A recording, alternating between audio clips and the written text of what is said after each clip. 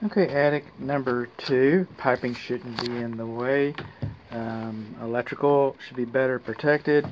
This is the transition landing to the uh, service space. And that's awful. That's awful loose right there. The wrong person step on that. Then we're supposed to have 30 inches of service clearance in front of the HVAC system. Well, that includes the air filter and um, we cut a hole for air conditioning duct right in here. And um, maybe we didn't need it because we put it over here. But now we've got this hole right here that somebody can just step off into.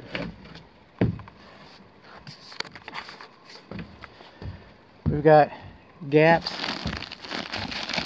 where our air conditioning plenum was not properly sealed some of the duct is still sagging. Um, I'm not seeing a care and use manual. Um, our P-trap is shallow. Our P-trap is insulated. And we should have a cap on this. Okay. The cap helps it drain like it's supposed to. I'm going to go off into that. The science now. Okay.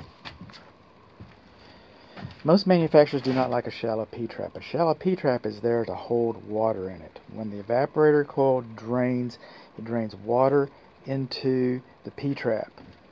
Okay? And then it goes out into the sewer.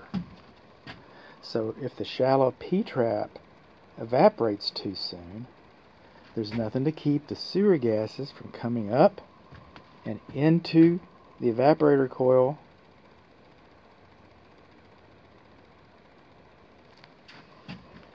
That's interesting. Yeah, up into the evaporator coil where it gets rebroadcast all throughout the house.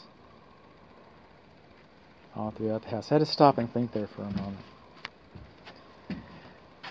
Then, if it's a shallow P-trap, if, if this drain is not capped, it won't it will not drain like it's supposed to and the air conditioner is running and running and running.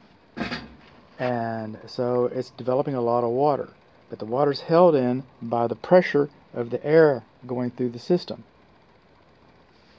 So when the system turns off the evaporator coils drop all the water they were holding. And it goes through the shallow P-trap which will be self-cleaning. And it doesn't have enough of a diversion to capture any of the water. It just comes in, floods it, blows it out, blows the water out. That'll follow it, kind of like a roller coaster. The last car follows the first car. And then, again, the drain is open. Gases come up, get redistributed through the house.